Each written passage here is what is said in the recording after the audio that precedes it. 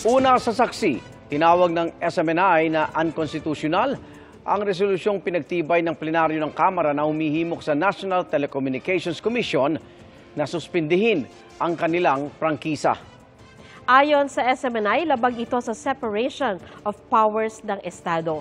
Hindi raw pwedeng diktahan ng Kongreso ang NTC ng saklaw na executive branch ng gobyerno. Mga kapuso, sama-sama tayong maging saksi.